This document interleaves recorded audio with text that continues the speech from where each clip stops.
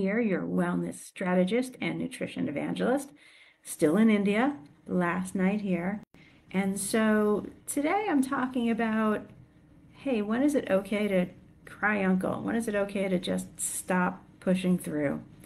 Um, it's been a busy week and a half for me here. There's been sightseeing, there's been meetings, there's been seemingly endless string of Indian buffets. And honestly, I'm I'm ready to go home. I'm ready to sleep in my own bed.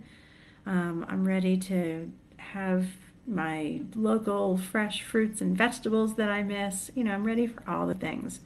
Um, and and obviously, I'm not cutting my trip short. I'm not throwing in the towel. But I wanted to talk about that concept today because sometimes we're pushed to an all or nothing mentality.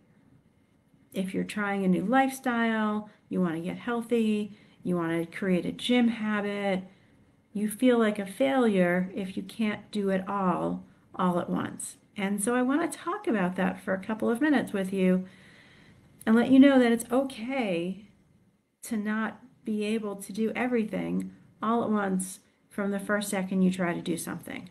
It may take a couple of tries. Maybe you do just a little bit more each time. We call that the 1% rule. Um, and before you know it, you'll be so much further along than you were before. And sometimes you're going to look at a new activity and say, you know what? It turns out this really wasn't for me. And that's okay too, as long as you're being honest with yourself. And it's it's truly not for you.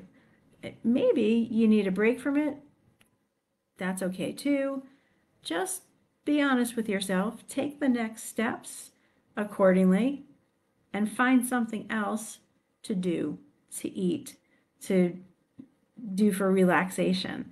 Don't just don't just do nothing, right? Because doing nothing's rarely a good solution unless you're, you know, Sunday afternoon in the hammock with a good book, then by all means do nothing. Um, but so I want to just talk about the uh, culture of pushing and pushing and pushing forward. Um, I was supposed to meet up with some folks this evening, and honestly, it's been a long day, and I'm tired, and I'm going to call it an evening early. I'm going to sit and read my book. I'm going to get packed to head to the airport tomorrow, and that's that's pretty much it. Um, so next time you see me, I will be back in the Boston area. Uh, I'll be back at my own desk. Um, I will be back doing all the things that are part of my normal routine. And I loved being out of my routine for a while. Obviously, there are things that take I take with me. Um, my healthy habits, my water, all the things we've been talking about for the past month. Um, and I've loved trying new things, trying all the new foods and the new flavors and the new spices. Um, it's been great.